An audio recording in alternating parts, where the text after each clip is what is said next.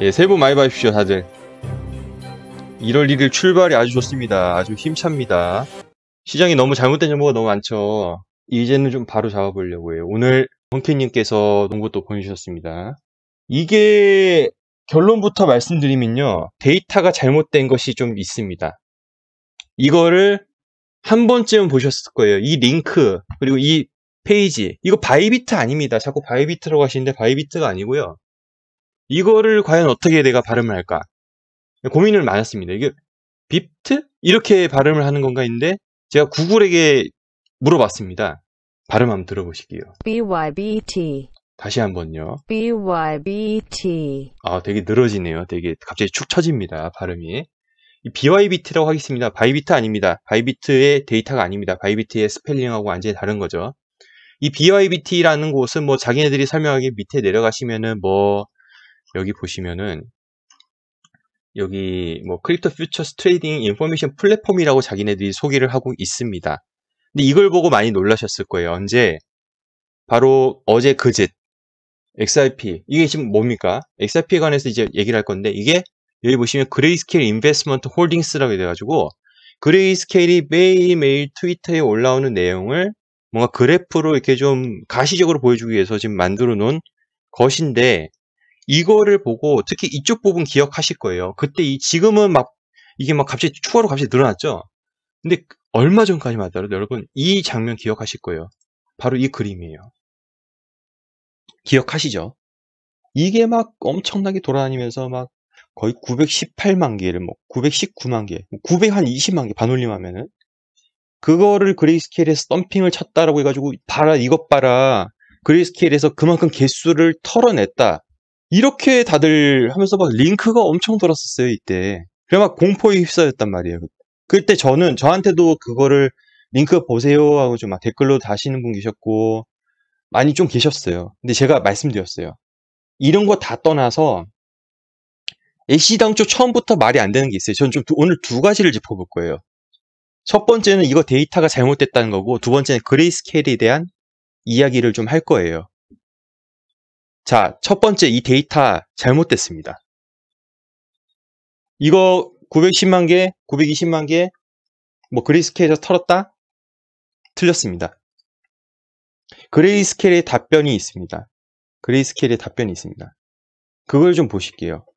근데 전 답변을 어떻게 했냐면 이렇게 얘기했어요. 그레이스케일은 신탁이에요. 이렇게 그냥 답변해야 되는데 지금 이쪽 시장에 그레이스케일이란 맹목적인 그 신뢰, 맹목적인 추종이 너무 많습니다. 그레이스케일이 매집했다고요. 그레이스케일이란 큰 회사가 자기네 돈을 가지고 비트코인 및 뭐 이더리움, 라이트코인, 뭐 캐시, 클래식, 뭐 Zcash, XRP, 뭐 밑에 있는 것은 스텔라까지 해가지고 자기네 돈으로 매집했으니 그렇게 큰 세력이 자기네 돈으로 그 큰 돈을 가지고 직접 이렇게 매집을 했으니 믿어도 된다라는 논리가 있는데 전부 다 잘못된 겁니다. 그거 다 잘못된 겁니다. 틀렸습니다. 제가 보여드릴게요. 자 바로 본론 넘어갈게요. 자 이것은 사실은 어떤 기사냐면 바로 코인텔레그래프의 11시간 전에 나온 보도입니다.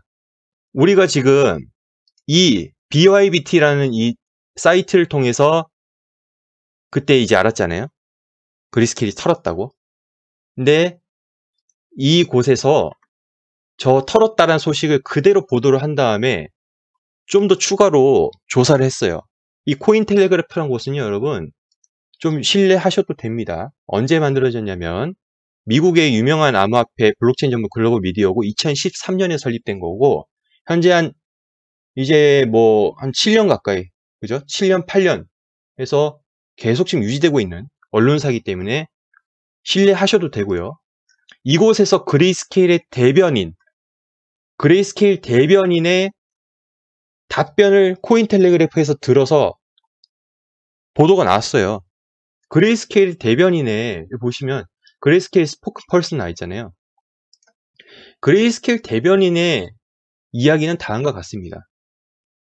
그레이스케일 투자 상품 중 어느 것도 상환 프로그램을 운영하지 않습니다. 이거 이따 설명드릴게요. 그냥 간단하게 말씀드릴게요. 상환 프로그램 그냥 말 그대로 일단 받아주세요. 이따 말씀드릴게요. 우리 투자 상품의 순 보유액은 사모 기초자산 가격 및 발생된 관리 수수료로 인한 유입의 결과로만 변경됩니다. 이게 좀 중요해요. 우리의 투자 상품에 의한 기초 자산의 대량 판매에 대한 진술은 거짓이며 부정확합니다. 그레이스케일 XRP 트러스트입니다, 여러분. XRP 트러스트예요. 이거 자꾸 놓치시는데 트러스트입니다. 트러스트의 USD 가치가 크게 감소한 것은 XRP USD 가격 하락의 결과일 것입니다라고 그레이스케일 대변인이 얘기를 했습니다. 그래서 이 데이터 수치를 뽑아낸 BYBT라는 사이트에 이 코인 텔레그래프 기자가 다시 이 BYBT 사이트에다 물어봤어요. 이 그레이스케일 대변인이 아니라고 하는데 너희들은 왜 920만 개의 XRP를 그레이스케일에서 털었다고 이런 수치를 왜 냈냐 물어봤어요. 아직 BYBT에서는 응답이 없는 상황입니다. 이게 이게 불과 이틀 동안 어제까지에도 막 털었다고 댓글 다른 데도 막 난리 난리가 아니었죠 그때 완전 잘못된 정보였어요. 자 다시 이제 짚어볼게요. 상환 프로그램을 운영하지 않는다는 거 이거 여기 왜 나와 있냐 상환 프로그램이 지금 비트코인도 마찬가지예요. 이게 지금 그레이스케일 공식 홈페이지 여러분 보고 계시는데 비트코인 트러스트입니다. 모든 것들은 우리가 지금 잘 보는 것들 바로 이런 것들이잖아요. 여러분 그레이스케일 이거 트위터 들어가시면 매일매일 이게 발표가 나요. 맞잖아요. 이걸 갖다가 이 BYBT 홈페이지에서 이걸 수치화 시켜가지고 그래프로 만들어 놓은 거거든요. 근데 그레이스케일이 뭐 한답니까? 자기 돈 가지고 이 코인을 매수한답니까? 이거 보시면은 여기 보시면 전부 다 보시면 뒤에 뭐라고 적혀 있습니까? 트러스트라고 적혀 있어요. 그리고 이 holding per share에 보면 가격들이 다 다르죠. 실제 우리가 알고 있는 코인의 가격과 다르잖아요. 무슨 말입니까? 신탁이에요, 신탁. 신탁이라는 사전적 의미 제가 보여드릴게요. 신탁이 뭐냐. 신탁은 위탁자가 수탁자에게 일정한 목적에 따라 재산의 관리와 처분을 맡기는 일이다.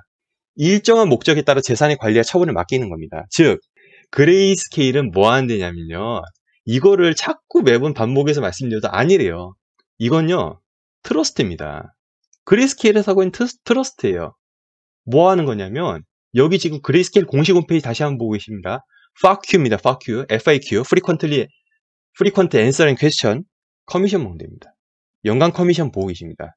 비트코인 2%, 캐시 2.5%, 이더리움 2.5%, 쭉쭉쭉 XRP 연간 2.5% 그리고 매일 이것이 차지가 됩니다. 수수료 먹는답니다. 고객들의 돈을 예치를 해줘서 자기네들은 수수료를 먹는 거라고요. 그리고 그만한 또 프리미엄 또 따로 먹고요. 브로커입니다. 여기 지금 헝키님 계시지만은 제가 알기로는요. 뭐 다들 뭐 그레이스케일 그레이스케일 얘기하지만은 그레이스케일을 직접 구매를 하신 분은 제가 알기로 헝키님이 유일해요. 이쪽 제가 아는 선에서는요. 헝키님이 그걸 아시고 그 저도 그거 듣고 여러분한테 얘기를 해줘도 아니래요. Grayscale이 본인 돈 가지고 사는 거래요. 그럼 이건 뭐 어떻게 설명할 겁니까? 이거는 여기는 다 여기는 다 트러스트입니다. 그러니까 자기네들이 그 주식을 파는 거예요. 트러스트라는 하나의 개념의 주식을 그러니까 이런 Market Performance 보시면 이, 이 주가가 움직이잖아요, 지금. 이거 우리 보시면 비트코인 트러스트지만 실제 비트코인 가격과 다르죠. 그러니까 맞아요. 자기네들이 그 비트코인 가격과 어느 정도 연동을 시켜서 하나의 고객들이 사기 좋은 주식 형태를 만들어서 주, 고객들에게 파는 거예요. 고객들에게 그걸 파는 겁니다. 즉, 맞습니다. 트러스트 회사, 신탁 회사. 브로커입니다. 예, 맞아요. 모르는 사람 있어요. Grayscale이 직접 매수한다고 생각합니다. 그래서 Grayscale이 직접 매수하기 때문에 믿어도 된다는 그런 논리 구조로 투자에 접근하신 분들이 여기 상당히 많습니다. 제가 보기엔 과반 이상입니다. 과반입니다. 과반. 여기 보시면 이 조항들 특히 오버뷰 보시면요. 여기 나와 있어요. Grayscale Bitcoin does not currently operate redemption program 이렇게 있어요. 이거 한글로 한글로 좀 번역할게요. Grayscale 비트코인 트러스트는 현재 상환 프로그램을 운영하지 않으며 라고 나와 있어요. 자, XRP 트러스트도 볼게요. 이거 XRP 트러스트죠, 여러분? XRP 트러스트 내려가 볼게요. 여기 보시면 우리가 중요한 건 이번에 XRP잖아요, 그죠? Grayscale XRP 트러스트는 현재 상환 프로그램을 운영하지 않으며 라고 나와 있어요. 그래서 아까 그 Grayscale 대변인이 우리 투자 상품 중 어느 것도 상환 프로그램을 운영하지 않는다고 얘기한 거예요. 이게 SEC, SEC의 Grayscale SEC의 비트코인 트러스트 그때 인가 받을 때 이거 SEC잖아요. SEC 증권거래위원회 여기서도 이미 다 나왔던 내용입니다, 여러분. 원래는 상환을 했었어요. 근데 이 뭐 우리가 이걸 정확하게까지 알 필요 없긴 하지만은 상환 프로그램이 규정 M을 위반했다 우려로 이게 다시 상환이 좀 안 되고 있습니다. 현재는. 그래서 그냥 뭐 6개월, 6개월로 제가 알고 있는데 6개월 단위로 해가지고 그냥 예치를 해놓는 거예요. 그 끝나고 말, 만기가 되면 그때 이제 하는 거고 이게 뭐 갑자기 뭐 비트코인 가격 떡, 아 비트코인 가격 떡 나간다, 뭐 리플 가격 떡 나간다 해가지고 뺄 수 있는 그냥 그냥 인출할 수 있는 그런 개념이 아니라는 거예요. 근데 이번에 이게 얘네들이 이게 보시면 XRP 클릭해서 보시잖아요. 심볼 볼게요. XRP. 이게 보십시오. 이 데이터가 지금 말이 되냐고요. 30일하고 31일 보십시오. Grayscale이 가지고 있는 Holdings XRP 가지고 있는 개수를 자기네들 마음대로 이걸 치환을 시켜가지고 XRP 가지고 있는 개수가 뭐 3,500만 개 이렇게 얘기하는데 이거 잘못된 데이터라는 거예요. 갑자기 이틀 만에 떡락했다가 답변도 없고 Cointelegraph에 답변도 없고 갑자기 1월 1일 현재 해가지고 갑자기 다시 올려놨어요. 이거 여러분 이거 진짜 거짓된 데이터에다가 당한 겁니다. 헝키님, 네, 저 GBTC, ETH 그리고 보여드리면서 말씀드릴게요. 자 보십시오. 이게 GBTC잖아요. 그리고 이더리움 트러스트 이게 ETHE 그리고 ETCG 그죠? 투자 중이고 각 상품은 코인 가격 따라 맞추는 증권이라고 보면 돼요. 프리미엄은 지네가 올렸다 내렸다고요. 우리 당한 거예요, 여러분. 이 거짓된 데이터에 당한 거라고요. 이게 말이 됩니까? 갑자기 해가지고 확 올려요? 그러니까 그리스케일 대변인 한 말은 이게 갑자기 떨어진 거, 즉 우리가 이거 막 해석할 때 너무 잘못해서 그래요. 보면은 이게 AUM 이 뜻이 무슨 뭐 이게 달러 적혀 있잖아요, 뻔히. 근데 무슨 개수래요. 개수가 뭐 뭐 뭐 떨어졌대요. 아니에요. 이거는 AUM이란 뜻 오늘 좀 정확하게 짚고 넘어갈게요. AUM이 뭐냐면 Asset Under Management. 그렇지 말, 말 그대로예요. 지금 굴리고 있는 돈이에요. 굴리고 있는 돈이 이거는 개수가 줄어들어서 줄어든 게 아니라 그 당시에 XRP 가격이 떨어져가지고 줄어든 거라고 대변인이 설명했던 거. 그리고 개수가 갑자기 내려올 수 없는 이유 아까 바, 말씀드렸잖아요. 여기 조항에 현재 상환 프로그램을 운영하지 않는다고요. 그냥 만기가 딱 되면 그냥 그때서야 만질 수 있는 거지 그 중도에 뭐 이걸 어떻게 할 수 없어요. 그것 때문에 이 상환 프로그램을 운영하지 않는 것 때문에 여러분 Messari라고 들어보셨죠? Messari가 저기 저기 저쪽이 뭐 서울 동쪽 가면 있는 뭐 미사리가 아니라요. 거기 뭐 조정 경기장 있는 미사리가 아니라요. 그 Messari인데요. Messari 이걸 좀 보여드릴게요. 자, Messari의 Messari의 투자자, Messari 투자 이거 좀 여기 Redemption Program 나와 있잖아요. 이 사람이 Messari 투자자 분석가 및 제품 책임자인 뭐 Qiao Wang은 Grayscale 비트코인 트러스트 즉 GBTC가 설정되는 방식에 대해 주요 비판을 제기했습니다. 여기 조항, 즉 GBTC나 XRP 트러스트나 똑같은 게 뭐다고요? 아까 뭐라고요? 이거요, 이거, 이거. 상환 프로그램. 상환 프로그램에 대해서 지금 이 사람도 얘기를 하고 있는 겁니다. 이게 문제가 있다. 왜 내 건데, 왜 내 건데, 왜 내가 이걸 상환을 못하냐. 당신은 당신의 돈을 그레이스케일에 기부하고 있습니다. 상장지수 펀드 ETF가 펀드의 기본 자산에 비해 할인된 가격을 거래될 때 중재자는 거래소에서 계약을 구매하고 이를 뒷받침한 자산을 상환할 수 있다고 설명했습니다. 상환할 수 없는 경우 그 베리 실버텍에 돈을 기부하는 것입니다.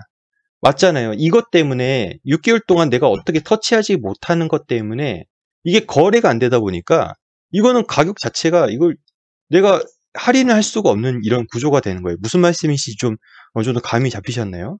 자, 그레이 스케일은 무슨 빠른 속도 증가하고 있으면 얘기 적혀 있는데 여기 적혀 있죠. 매사리. 미사리가 아니라요. 매사리요. 여기 나와 있어요. 여기 보시면. 저는 GBTC에 대해 정말 혼란스럽습니다. 상환 메커니즘이 없습니다. NAV, NAV가 뭐냐면요. NAV가 그 펀드의 순자산 가치, 그냥 원래 그 펀드의 본래 가치, 여기 이제 프리미엄이 붙을 수 있고 할인이 갈 수도 있는데 아무튼 그냥 그대로 일단 우리가 읽고 가자고 여기 중요한 게 아니니까. 그래서 그거에 대한 지속적인 할인 거래를 방해하는 것이 무엇입니까? 맞잖아요. 만약에 가격이 떨어지면 이 해당 그 주식에 대해서 내가 바로 딱 처분할 수 있어야 되는데 뭐 건드리지 못하잖아요. 해당 기간 동안 건드리지 못하잖아요. 그죠? 그래서 완전한 생, 어, 생성 상환 메커니즘 ETF 같은 것에 기본이 고정될 수 있는 이유입니다. 근데 그레이스케일이 그 아까 면책 조항이 있었잖아요. Does not currently operate the redemption program. 상환 프로그램 현재 하고 있지 않다. 뭐 때문에? SEC의 그 규정 M을 위반했다는 문제 때문에 그래서 이렇게 지금 현재 했다. 자, 다시 한번 말씀드리겠습니다.